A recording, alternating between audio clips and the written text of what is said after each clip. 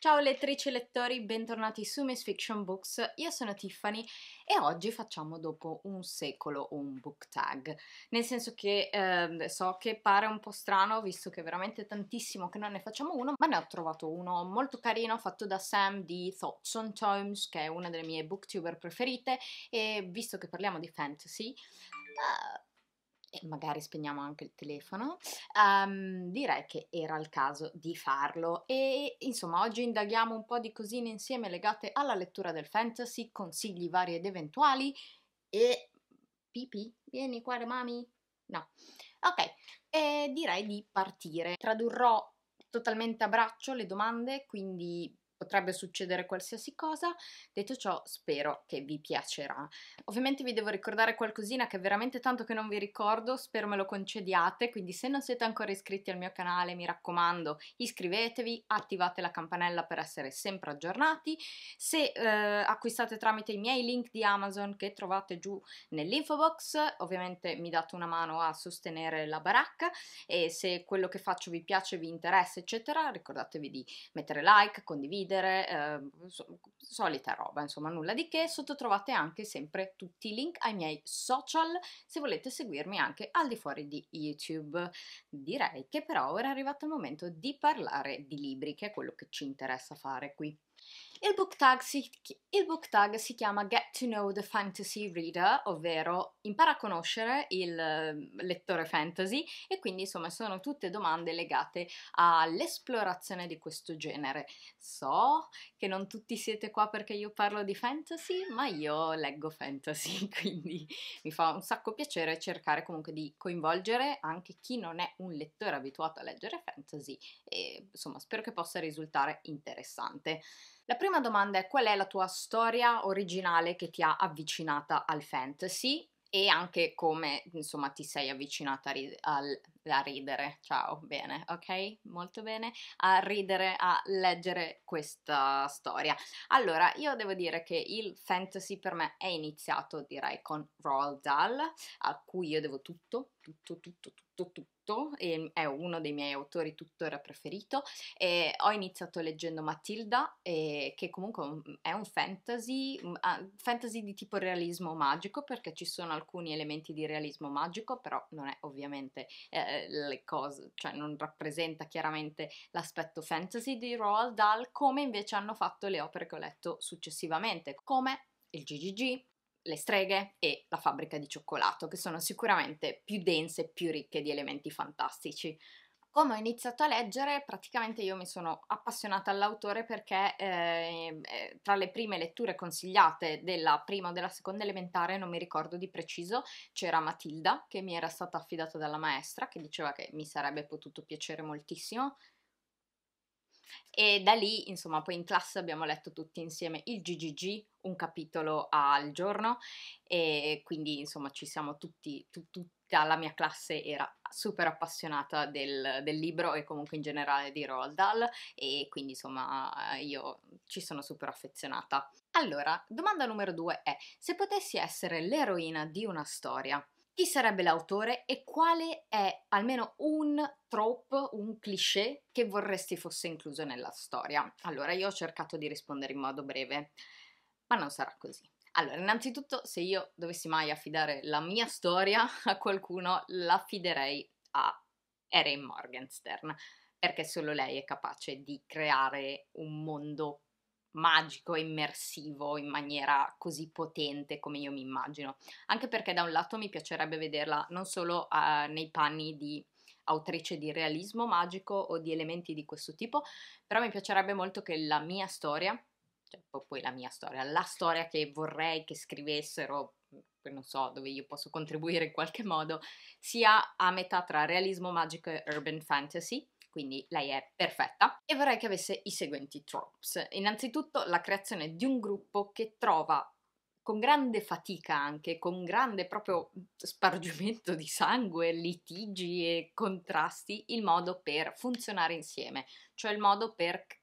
avvicinarsi l'un l'altro e creare un vero e proprio gruppo solido. Questa è una cosa che a me affascina sempre e affascinerà per sempre. Quando è fatto bene, la dinamica del gruppo per me è un elemento imprescindibile nei libri, cioè è la, una delle mie parti preferite. Però ovviamente il gruppo deve essere un gruppo credibile, funzionante e quant'altro. Ogni riferimento ad opere esistenti che io spingo da anni è puramente casuale. Non può ovviamente mancare un'impresa pericolosa che metta a repentaglio la vita di tutti perché sennò non potrebbe essere un buon fantasy e ovviamente io ci vorrei le streghe perché eh, se io dovessi mai far parte di un fantasy io voglio essere una strega e voglio che siano coinvolte le streghe e l'ambiente stregonesco perché sennò, ripeto, non sarebbe la mia storia. In ultimo, proprio perché sono molto falsa, se mai ci dovesse essere un elemento romance dentro questo fantomatico libro che stiamo costruendo e boh, se qualcuno scrive e mi vuole scrivere io progetto cose a caso, se mai ci dovesse essere l'elemento romance, che non è necessario nella mia storia, ma vogliamo mettercelo, mettiamocelo, perché sono falsa, vorrei che la dinamica fosse un altro cliché, ovvero il cliché del hate to love relationship, ovvero una dinamica che parte da due personaggi che tendenzialmente si odiano all'inizio e poi imparano a conoscersi. E mi giustifico dicendo che innanzitutto sarebbe molto molto probabile che sia la storia vicina a me e soprattutto perché questo dà modo al lettore di vedere l'evoluzione dei personaggi e trovare dei punti di incontro in modo che proprio inizi a conoscere molto bene i personaggi e io tendenzialmente se è fatta bene questa dinamica che è molto rara la amo proprio l'amo, io mi vendo a questa dinamica. Qual è un fantasy che hai letto quest'anno e che vorresti che mhmm, più persone leggessero? Questa è la prossima domanda. Io ho due risposte per voi. Purtroppo me le sentirete ripetere così spesso che nemmeno le goccioline d'acqua che, che perdono dal rubinetto sono così insistenti e fastidiose. A me dispiace, ma io sono qua per scassare le ovaie e quindi non posso non includere in questo suggerimento ovviamente The Starless Sea, cioè il mare senza stelle di Erin Morgenstern che uscirà a giugno in italiano, quindi se non lo avete ancora letto in inglese lo potete leggere in italiano molto presto e se non lo leggete il secondo volume che vi suggerisco, io l'ho letto in anteprima e eh, ne sto già parlando perché io trovo che sia un'uscita che è passata molto in sordina perché non c'è ancora una release date e uscirà per Bloomsbury e in questo caso si tratta di Susanna Clark con Piranesi. Susanna Clark è l'autrice di Jonathan Strange e Mr. Norrell che io amo alla follia e quindi questo suo ritorno non vedo l'ora, non vedo l'ora che arrivi anche a voi. Dovrebbe uscire nella seconda metà dell'anno, mh, mm, proprio poco prima dell'inverno o in inverno, non si sa veramente ancora nulla, però tenete d'occhio il sito di Bloomsbury e chissà che non arrivi anche in italiano. Quarta domanda chiede invece qual è il tuo sottogenere del fantasy preferito. Invece quale non leggi molto o non hai letto molto, non hai esplorato granché? Allora, devo dire che i sottogeneri del fantasy sono talmente tanti che um, preferisco dirvi cosa non mi piace di quelli che ho letto, che risulta più facile rispetto a quelli che ovviamente non conosco, non ho letto o magari non ho esplorato così tanto. E quindi sapete già tutti qual è il mio genere meno preferito del fantasy, tra quelli che conosco bene perché vi ho appena finito di scassare le balle con due puntate sull'epic e il high fantasy, ci sono ovviamente all'interno di, queste, di questo genere cose che a me piacciono molto, ma eh, è proprio il genere che io chiamo salsiccia e polipo, eh, spadoni contro spadoni e eh, a me annoia parecchio. I miei generi preferiti sono realismo magico, urban fantasy, grimdark, gothic fantasy e sword and sorcery, heroic, in parte, eh, eh, non tutto mi piace di questo genere, ma le cose che mi piacciono di questo genere mi piacciono moltissimo. La quinta domanda invece chiede qual, qual è un autore, un'autrice che qualsiasi cosa pubblica tu compri immediatamente. io penso che questa domanda, cioè andiamo agili, veloci e rapidi perché sappiamo tutti che la risposta è Lee Vardugo. La stessa domanda invece chiede quali sono i modi in cui trovi delle raccomandazioni o come scovi i titoli da leggere? Allora, eh, io ho diversi modi che cerco di spiegarvi perché così vi spiego le mie so, i miei compartimenti mentali e la mia follia tendente all'ossessività, in modo che così possiate comprendere. Diciamo che innanzitutto partiamo dalle novità. Le, come trovo le novità? Eh, chiaramente cerco di eh, guardare moltissimo al mercato estero, soprattutto quello americano e quello UK, perché sono quelli dove ci sono spesso molte novità. Non guardo purtroppo all'area tedesca, all'area francese, all'area spagnola, perché mh, è difficile che ultimamente legga in lingua, a parte che il francese non lo so, e quello è un altro paio di maniche, in tedesco non leggo un volume da un sacco di tempo, spagnolo eh, tendenzialmente faccio un po' fatica, quindi vabbè. In ogni caso, eh, quindi guardo soprattutto a questi due mercati dove c'è ovviamente una sovrabbondanza di titoli e ci sono moltissime novità, soprattutto anche riguardo ai miei autori e le mie autrici preferite, ma anche cose molto nuove. Oltre a guardare ovviamente, cioè dove poi li vado a vedere, sia sui siti delle case editrici, ci sono alcune case editrici anche con cui io collaboro, che sono Penguin e Bloomsbury, con cui ho anche un rapporto dove spesso mi inviano le loro novità, controllo Goodreads, controllo diversi blog dove già diciamo prima che inizi l'anno nuovo si sanno già tutte le uscite perché non sono come gli editori italiani che te lo fanno sapere a libro già uscito, cioè tutti partono quasi sei mesi, un anno prima a comunicare le uscite previste, perché così creano e generano curiosità. Poi seguo ovviamente una serie di youtuber e booktuber perché eh, alcuni, soprattutto all'estero, sono molto informati sulle novità collaborando con alcune case editrici, quindi sono incuriosita dal sapere anche mm, insomma quello che esce. Diciamo che io non amo granché i, i booktuber non italiani perché tendenzialmente il loro aspetto critico non mi colpisce moltissimo, però diciamo che per i contenuti un po' veloci, un po' da assorbire in maniera mm, molto leggera, sono molto utili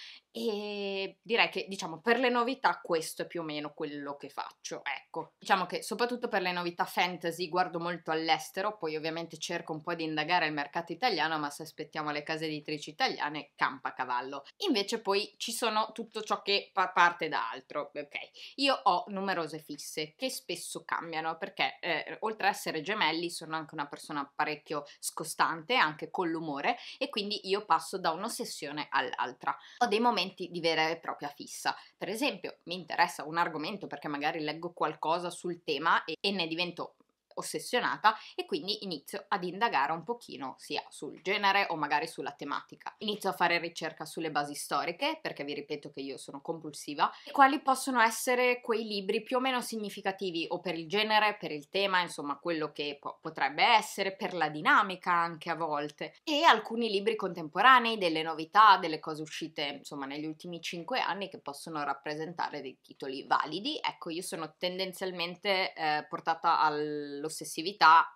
proprio perché devo esplorarne poi tutta, tutto ciò che ci sta attorno. Oppure trovo un autore che magari leggo un libro e mi colpisce moltissimo e inizio a cercare tutti i libri dell'autore o dell'autrice ovviamente. In ultimo, ovviamente, seguo alcuni miei colleghi che magari trovano un titolo, ne parlano in una maniera che a me colpisce oppure mi ispira quello che hanno letto e penso possa diventare interessante anche per me e quindi inizio ad indagare. Eh, questo però ve lo devo dire, devo essere onesta, succede sia in positivo che in negativo. Cioè, se un libro colpisce molto una persona, magari me incuriosisce perché penso che possa fare per me, allo stesso tempo potrebbe essere che un libro non piace o piace a una persona e io penso che su quel libro potrei avere dei pareri totalmente opposti, sia in positivo che in negativo ovviamente, ma non è chiaramente una dinamica contro eh, nessuna persona, ma è più verso il libro perché sono curiosa di esplorare e sempre tenere allenata la mia capacità critica. Cioè un po' come spesso succede sotto i miei video, magari io faccio un'analisi dove il libro o a me non è piaciuto o a me è piaciuto e molti di voi trovano che quello che io dico tendenzialmente rappresenta il contrario per voi, quindi magari a me una roba non piace per alcune dinamiche che voi trovate interessanti e quindi quel libro automaticamente finisce nella vostra TBR. Tutto è lecito, penso, da questo punto di vista. 7. Qual è un'uscita che sta per arrivare quest'anno che tu non aspetti l'ora di vedere, insomma, che tu stai attendendo molto. Io devo dire che questo 2020 in realtà è molto desolante. Ci sono pochissime uscite che io attendo e non lo so, cioè non c'è nulla di così rilevante se non quello che vi avevo già detto nella TBR del 2020. Quindi io eh, vi rinnovo i miei consigli sulle uscite italiane. Esce La nonna casa di Libordugo, esce Il mare senza stelle di Erin Morgenstern a, giugno e uscirà Piranesi a un certo punto di Susanna Clark nell'inverno, quindi mm, ripeto un po' quello che vi ho già detto 25 volte in questo book tag, mi raccomando. 8. Qual è una mm, misconception, cioè un equivoco sul fantasy che tu volesti chiarire o comunque una, diciamo, opinione diffusa che in realtà non corrisponde alla realtà? Ecco, quello che, mm, insomma, chiede la domanda. Cioè, il primo mito da sfatare è che, cioè che il fantasy sia tutto la stessa cosa, che sia tutto uguale e sia assimilabile. Secondo me questo è un grave errore di valutazione che si fa su questo genere ed è anche il motivo per cui sono nati i fantasy talks, ovvero il fantasy è pieno di sottogeneri, ci sono stili, temi, eh, ambiti, ambientazioni, personaggi così diversi che davvero pensare che il fantasy sia solo il Signore degli Anelli o Harry Potter è cioè, insomma molto molto limitante e l'esplorazione di questo genere secondo me anche nelle sue varie sottoforme, nelle sue varie eh, diciamo eh, trasformazioni nel corso degli anni potrebbe davvero avvicinare moltissime persone magari a un genere eh, verso un altro. E quindi non lo so, io continuo sempre a lottare per cercare di dare un certo tipo di valore a quello che è un davvero un genere che è così ampio e così poco conosciuto. E poi l'altra cosa che è un altro mio pallino è che sembra che il fantasy sia nato dopo Twilight e che esista solo eh, lo young adult, cioè che quello che una volta io continuo a chiamare fantasy per ragazzi, cioè di fantasy per ragazzi ce n'è tanto e poi tra l'altro fantasy per ragazzi non significa che sia un fantasy di pessima qualità, cioè ce ne sono di pessima qualità come Twilight, ma ci sono dei fantasy per ragazzi che sono magnifici. Allo stesso tempo eh, il fantasy ha una storicità così lunga che non è possibile assimilarla solo negli ultimi dieci anni, cioè eh, le storie fantasy nascono con la nascita della lettura o comunque in generale con la nascita della narrazione orale, quindi ci tengo sempre a essere molto precisa anche da questi punti di vista, soprattutto anche perché moltissime persone eh, hanno avuto questa prospettiva e io ci tengo sempre a sfatarla. L'ultima domanda invece chiede di suggerire tre libri per una persona che non ha mai letto prima il fantasy e che potrebbe utilizzare questi tre punti di partenza per iniziare a leggere il genere. Allora, ovviamente, mh, mm, quale poteva essere il mio primo consiglio e quale è il mio primo consiglio? Ovviamente non può che essere Sei di Corvi. Sei di Corvi di Libardugo è un fantasy che secondo me è molto accessibile soprattutto a chi non ha mai letto questo genere, perché è una storia che si basa sui personaggi, quindi che i personaggi facciano cose ambientate in un ambito fantastico o che lo facciano sotto casa non cambia nulla, perché alla fine è una storia che parla di evoluzione personale e superamento del trauma, quindi sono temi universali. Insomma, cioè vabbè, era perché dovevo dare l'effetto sorpresa a tutti e dirvi un titolo che non avrei mai citato, no? Vabbè, a parte gli scherzi. Il secondo titolo, che lo so che è un epic e a me di solito gli epic non piacciono, però questa è veramente una delle mie trilogie preferite e io amo con tutta la mia forza questo libro che finalmente verrà anche ristampato in Italia, notizia di pochi giorni fa, è eh, la trilogia di Fionavar di Guy Gabriel Kai. È un libro assolutamente appassionante che secondo me può davvero introdurre i lettori che sono rimasti magari o al Signore degli Anelli o non hanno nemmeno mai letto quelli a una dimensione più moderna di un tipo di impostazione di narrazione così epica, grandiosa, dove le tematiche diciamo universali dell'umanità entrano dentro una storia che noi seguiamo attraverso una serie di personaggi in una maniera avvincente, con una scrittura eccellente e insomma io lo spingerò tantissimo, mi sentirete molto parlare di questa uscita perché già che la ristampano in Italia io ci tengo che la leggano anche i muri finalmente se non l'avete mai recuperata in biblioteca. Ultimo e non ultimo perché cioè alla fine io sono qua per scassare le balle un altro po' e eh, cioè, non sorprenderà nessuno e a scelta io vi lascio o le cronache del vampiro o l'ora delle streghe di Anne Rice che è una delle mie autrici preferite.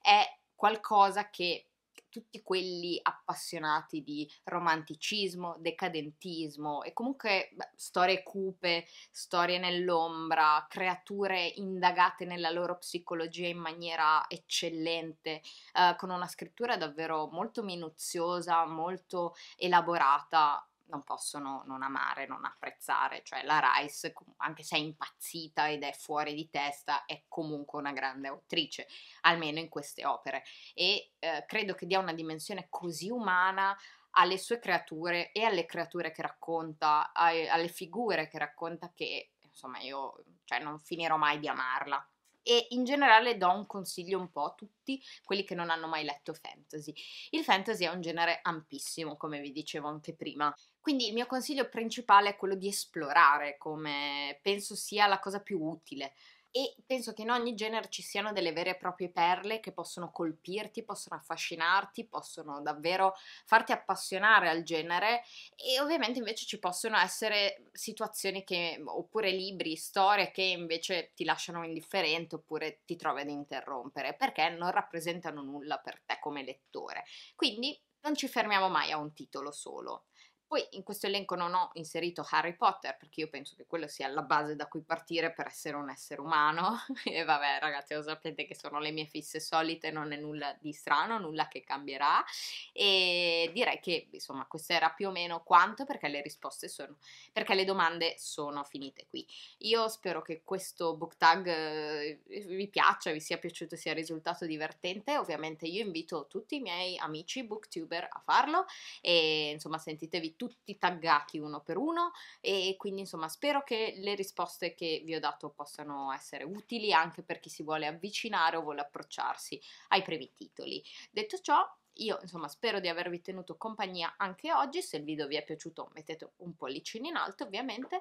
e direi che per oggi è tutto e io direi che ci vediamo al prossimo video. Ciao!